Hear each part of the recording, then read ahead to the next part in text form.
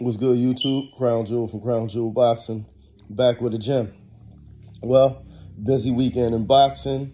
Um, Tank versus Frank. Um, Tank versus Devin. Full sparring footage released. Uh, and Floyd Mayweather. Um, I'm normally a huge fan, but totally disappointed. Um, and I'll get into that on this video. First and foremost, the OG uh, when it comes to these guys, about the same age as me, but Floyd Mayweather Jr um, one of the best fighters in the history of the sport. Um, I'm a very, very big fan of him, as, as well as I was a fan of what he was able to do with Tank's career.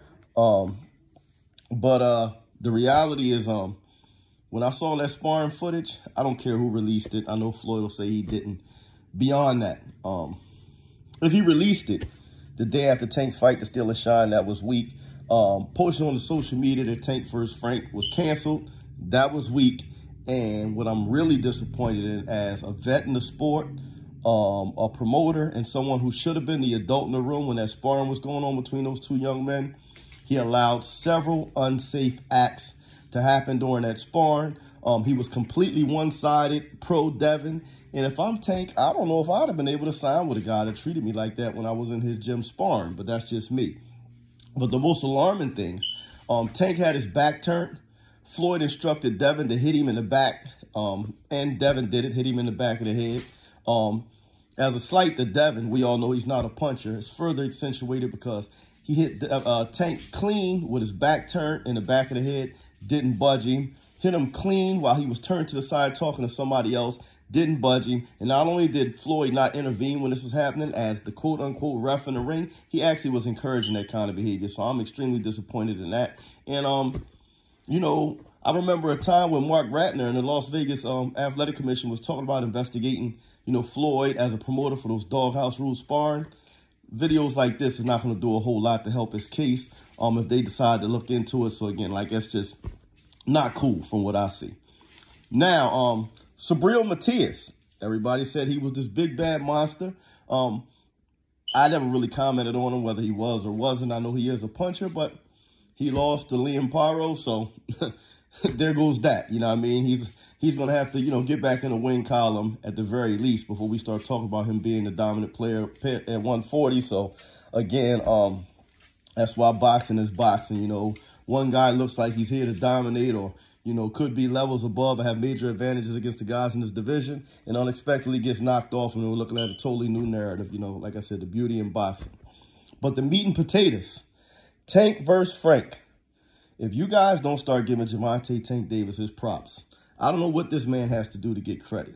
Um, for those of you that were saying uh, Frank was doing well in the early rounds and should have just kept doing that and not been on the ropes, um, and maybe the fight would have went different. He did do well in the early rounds, and he did exactly what Gervonta Tank Davis allowed him to do in the early rounds. Tank didn't offer much offense early, and it looked like Frank was controlling the fight. But if you know what you're looking at, Tank was applying constant, effective pressure, even though he may not have been throwing punches at that point as much as, you know, I would like or most people would like to see. He was put his high guard up, walking to Tank, pressing him, and every now and then touching him with some good shots down to the body, which eventually affected his legs and put a lot of mental pressure on him that eventually wore him down. I predicted before the fight that um Tank would start touching Frank around the fourth round and would get him out of there by the eighth. Well, I was almost right. He started touching him in the third, um, stepped it up every round from the fourth through the eighth, and in the eighth, you know, finally put the finishing touches on and knocked him out.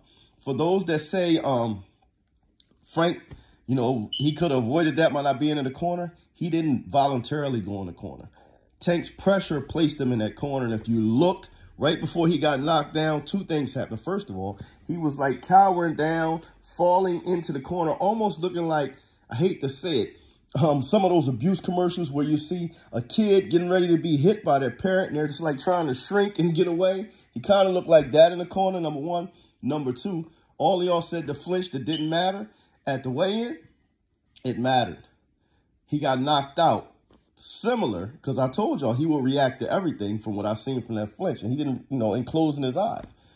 Tank waved the right hook at him that he didn't really intend to land. Frank reacted to it, and what he do? He closed his eyes. Y'all say it's natural. Everybody closes his eyes. Doesn't make a difference. Yeah, well, he closed his eyes. And by the time he, he opened his eyes, he was being hit by a left uppercut that put him out on his feet, left him pretty much paralyzed against the ropes. Tank was able to hit him with what he calls his brick hand, a straight left hand, put him out. That was the end of the fight.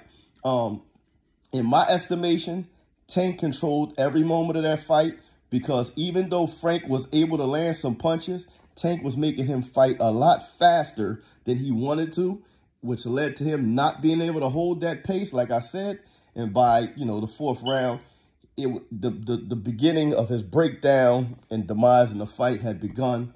And um, I'm just going to say it, you know, anybody 135 pounds, once Gervonta Tank Davis is able to start touching you, whether it be body or head consistently, it's not a matter of if you're going to get knocked out, it's when. Um, hats off to Gervonta Tank Davis. The sport of boxing's won. I wish people would stop trying to uh, diminish his victory. Because uh, Frank only got 18 fights, but we got a lot of guys that had team fights, you know what I mean? And he took the fight. Most people thought he had a chance to win the fight a lot, uh, uh, or at least be in the fight. A lot of people were saying he would win the fight, and nobody was complaining when he was slated to fight Shakur Stevenson. So please don't tear down Gervonta Tank Davis's win now that he beat him. He beat a very strong, determined, well-schooled, well-coached Frank the Ghost Martin. Oh, yeah, I want to shoot Derrick James some bell. Do not get on here and say it was Derrick James' fault. Like I said, there's nothing Derrick James could have done to stop him from moving away and alleviate that pressure Tank was putting on him. His only alternative would have been to stand there and trade. He would have got a broke up even sooner. So I think Frank did what, what he could do. I think Derrick James coached him to do what exactly it was he could do. Unfortunately, Tank was just a better fighter, um, and he beat him mentally more than physically, even though he did a number on him physically. So if you know what you're looking at, again, he wasn't voluntarily going from rope to rope or corner to corner. That was that pressure Tank was putting on him. So hats off to Gervonta Tank Davis, Coach Calvin Ford, Coach Kenny Ellis. You guys continue to do a hell of a job with this young man. Um, again, I'm a huge fan. I think the sport of boxing won, and we have a young juggernaut, man. Oh, yeah, and I said on Knockout Boxing 86 TV, I said it's going to be unpopular, but I think Tank combines the skill set and talent of a Zab Judah with the mental toughness of Floyd Mayweather. Well, after the fight, he said his number one fighter growing up was uh, Zab Judah before Floyd Mayweather. So I hate to say it. Again, y'all can call me Jules Stradamus because, I, I mean, I just see things. You know, I'm, I don't want to be vain, but when it comes to this boxing, I think I know what I'm looking at. But until next time, keep your hands up, your chin down, your ass off the floor.